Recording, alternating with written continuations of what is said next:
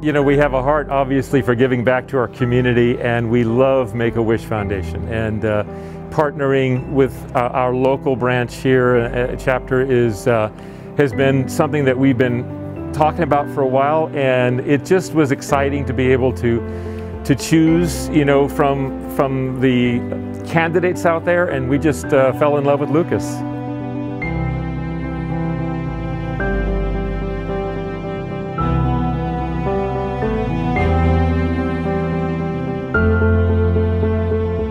Lucas has um, high functioning, well, pretty moderate autism on top of cancer, so his hospitalizations are not easy. I mean, feeling good or feeling bad, he's cranky, he's throwing things, he can't understand why he can't get up and do things. So the hospital is really, really hard because he can't leave the room. So we're just finding ways to entertain him, and then when he feels good, he's not behaving because he wants to leave. So it, it was really hard. So today we had a reveal for Lucas to announce that his wish is being granted uh, to have a backyard playset, and we did it here at the Subaru beautiful uh, showroom.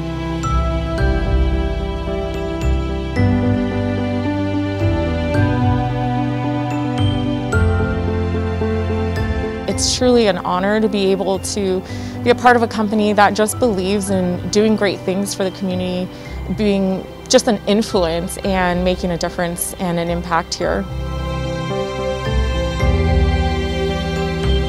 To Subaru and to Make-A-Wish and to everybody, all the community partners, just thank you so much. Uh, we, we could not be any more grateful.